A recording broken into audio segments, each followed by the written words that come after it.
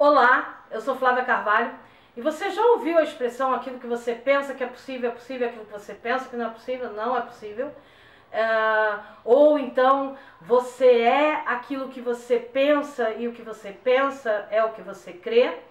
Pois é, durante muito tempo eu sempre desconfiei dessas uh, verdades prontas, assim, mas eu queria te convidar a fazer um exercício comigo. Eu aprendi esse exercício, ou eu vi a primeira vez esse exercício com o Tony Robbins quando eu comecei a ler e assistir vídeos sobre a PNL. Hoje eu sou master em PNL e hoje eu quero te convidar a fazer esse exercício comigo. É o seguinte, sem se machucar, sem machucar a coluna, nada disso, e sem abrir o braço, tá? É o braço sempre à frente do corpo. Você vai esticar o seu braço e você vai é, levar o seu tronco para lateral. Eu vou levar aqui para minha lateral direita o máximo que você consegue. Então você vai fazer isso o máximo que você consegue, marca onde você está apontando e volta. Aí você vai abaixar o braço e você vai fazer o seguinte exercício. Você vai na sua cabeça, na sua imaginação, imaginar que você está fazendo a mesma coisa, elevando o braço e dando uma volta de 360 graus no seu tronco, ou seja, uma volta completa, passando pelas suas costas, o lado esquerdo e voltando para essa posição com o braço estendido.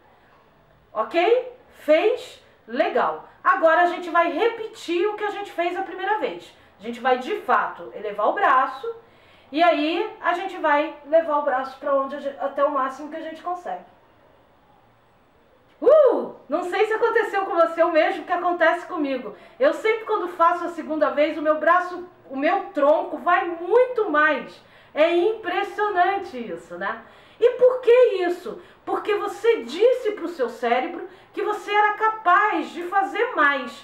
Ainda que seja fazer o mais que é impossível. Porque uma pessoa que dá 360 graus no corpo ou na cabeça, eu lembro do filme do Exorcista, né?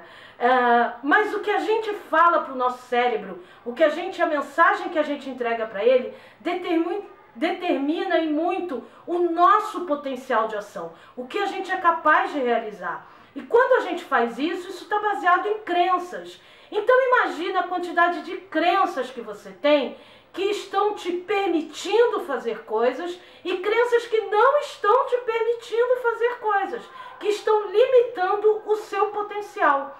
Mas a partir do momento que você crê em algo e você vê que aqui a gente está tratando de algo que nem é possível, mas como você se comunica com você mesmo, determine muito o seu potencial de ação e aí é uma questão de você partir para a ação, né? Lógico, porque só acreditar e não fazer não adianta. Então eu quero te convidar para você se juntar comigo uh, num workshop que a gente vai tratar de crenças também e outras questões relacionadas ao autoconhecimento, ao desenvolvimento pessoal, para a gente aprender ou continuar aprendendo ou aprender coisas sobre equilíbrio emocional, como a gente pode ter um ponto de equilíbrio. Então, aqui em cima, se você está no Facebook, ou aqui embaixo, se você está no YouTube, tem um link para você se inscrever. O workshop começa dia 28 e vai até o dia 3 de abril. Uh, 28 agora, quinta-feira, e vai até o dia 3 de abril. Então, dá tempo de você se inscrever. Vai lá, se inscreve e vem comigo para a gente aprender mais sobre isso. Um grande abraço, se cuida, fica bem e até o próximo.